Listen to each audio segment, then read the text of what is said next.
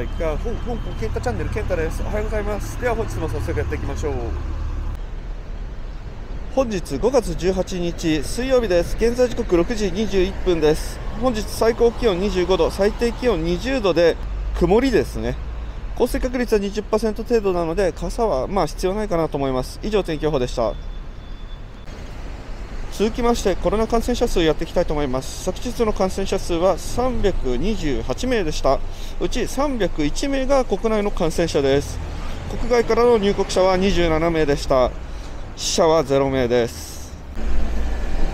続きましてワクチン接種者の数やっていきたいと思います。1回以上のワクチン接種完了しているのが667万4000トンで7人。人口の91.7%です。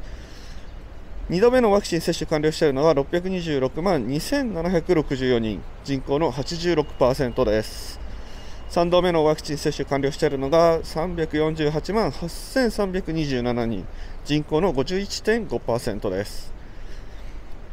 4度目のワクチン接種完了しているのが8万8648人です。香港の人口は750万人程度です。さあ本日もビットコインの価格やっていきたいと思います。現在時刻6時47分です。ビットコインの価格は3万トンで303ドル46セントでした。ここ24時間の値動き見ててもねうんま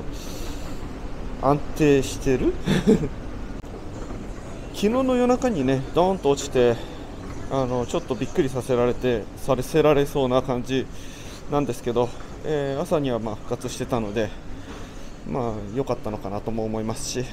こうちょっとどう動いていくのか全然わかんないんですが早く上がってきてほしいなと思います。以上ビットコインの価格でした。さあワクチンの接種第4回目のワクチン接種者ですね。どんどん増えてるんですが、えー、市民全体にね、えー、行き渡るまでには11月の11月の、ね、中旬までには、えー、誰でも打てるようになるのではないかなと予測されてます。えーこれね、まあ、4度目のワクチン打った方がいいのか悪いどうなのかっていうのはね非常にね分からないというかあれなんですけど、まあ、私のね周りでも60歳以上の人かな？なら、えー、4度目のワクチン打てるということで、えー、1人だけねもうすでにね打った人が、えー、知り合いにいるんですけどいやそうですね。私もね4度目のワクチン、まあ、打てるようになったらねあの問題なく間違いなくねあのさっさと打ってしまって、えー、備えたいなと思ってるんですけどね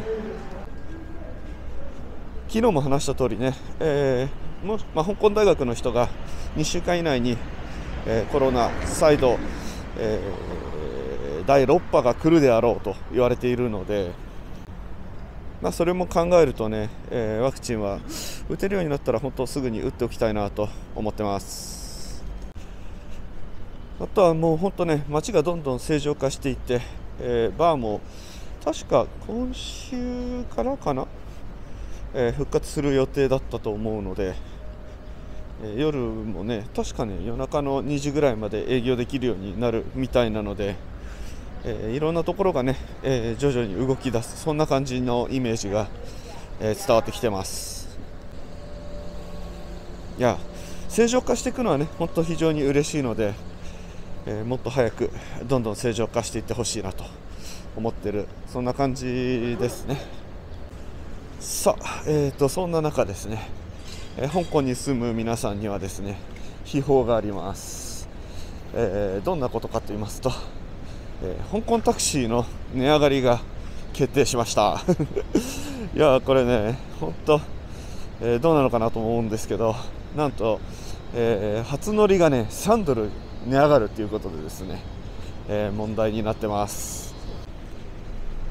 まあそんな3ドル値上がるタクシーなんですが、えー、最近ですねニュースになってるのは乗車拒否ですね。もうあのー、近くてもダメ遠くてもダメっていうねあのそういうのが続いてるみたいです。もうでなおかつあの